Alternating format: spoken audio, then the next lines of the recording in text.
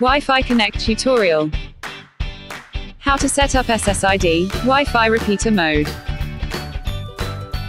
First connect your newly installed Wi-Fi CONNEkT wall socket. Don't be alarmed to see the yellow triangle, this is because you haven't configured the unit yet.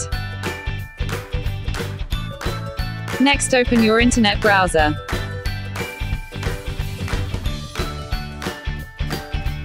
In the address bar type in 192.168.1.10. This is the IP address for the master wall socket. Type in the password admin to access the setup.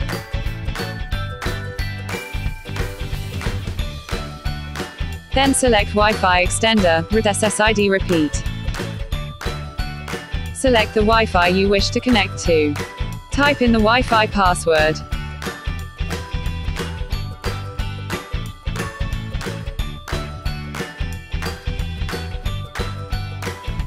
Advanced users only.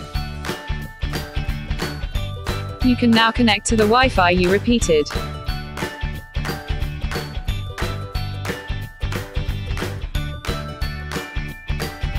SSID repeat tutorial complete. Thank you for watching.